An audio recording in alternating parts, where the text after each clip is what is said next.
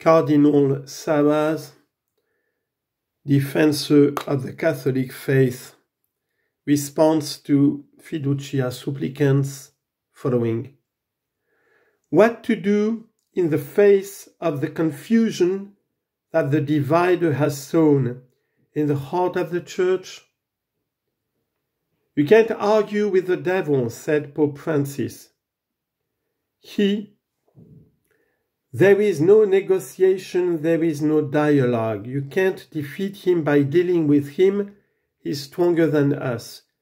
We defeat the devil by opposing the divine word to him with faith. In this way, Jesus teaches us to defend unity with God and among ourselves from the attacks of the divider. The divine word is Jesus' response to the temptation of the devil. In the logic of this teaching of Pope Francis, we too do not argue with the divider. We do not enter into discussion with the declaration Fiducia Supplicans, nor with its various uses that we have seen multiply. We simply respond with the Word of God and with the magisterium and traditional teaching of the Church. To maintain peace and unity in truth, we must refuse to argue with the divider. We must respond to confusion with the Word of God. 4. The Word of God is living, effective, and sharper than, than any double edged sword. It penetrates to the dividing point of the soul and spirit, to the joints and marrow, and discerns the feelings and thoughts of the heart. Hebrew chapter 4 verse 12. Like Jesus in front of the Samaritan woman, we dare to tell the truth. You said it right. I have no husband, for you have had five husbands, and the one you have now is not your husband. In this you spoke the truth. John chapter 4 verse 18 what to say to people to people involved in homosexual unions like jesus we dare the first the first of mercies the, the objective truth of deeds. With the catechism of the catholic church number 2357 we can therefore state homosexuality designates relationships between men or women who experience a sexual attraction, exclusive or predominant, towards people of the same sex. It manifests itself in very, in very varied forms over the centuries and in different cultures. Its psychic genesis remains largely unexplained. Relying on sacred scripture, see Genesis chapter 19 verse 1 to 29, Romans chapter 1 verse 24 to 27, 1 Corinthians chapter 6 verse 10, 1 Timothy chapter 1 verse 10, which presents homosexual relations as serious depravities. Tradition has always declared that acts of homosexuality are intrinsically disordered. They are against natural law.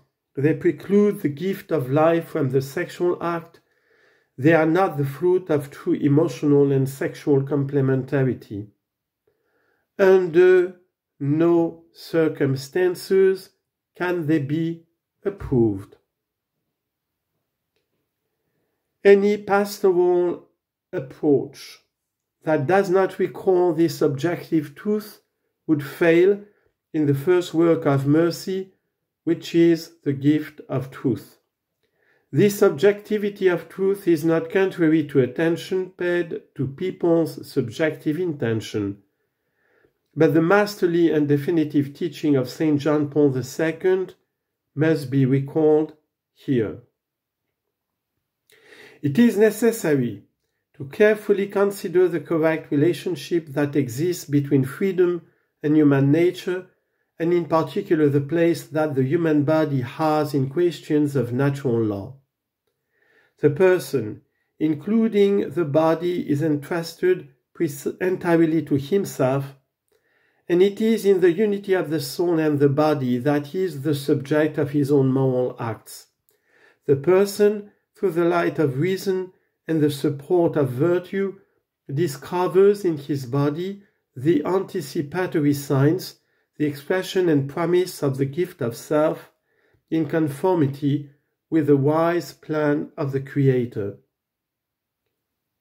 A doctrine that dissociates the moral act from the corporeal dimensions of its exercise is contrary to the teaching of sacred scripture and tradition.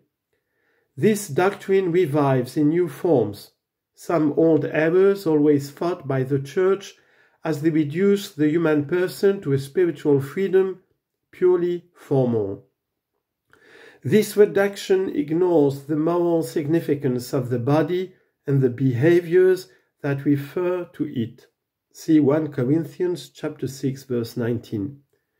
The apostle Paul declares that immorals, idolaters, adulterers, effeminates, sodomites, thieves, greedy, drunkards, slanderers, and extortioners are excluded from the kingdom of heaven. 1 Corinthians chapter 6 verse 9 to 10.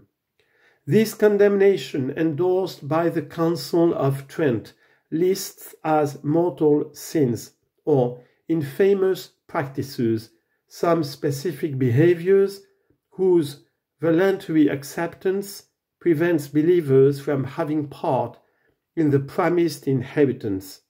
In fact, body and soul are inseparable. In the person in the voluntary agent and in the deliberate act, they are or are lost together. Quote from Veritatis Splendor 48 and 49. But a disciple of Jesus can't stop here. Faced with the adulterous woman, Jesus works for forgiveness in truth. Neither do I condemn you. Go and sin no more from now on. John chapter 8, verse 11. He offers a path of conversion, of life in truth.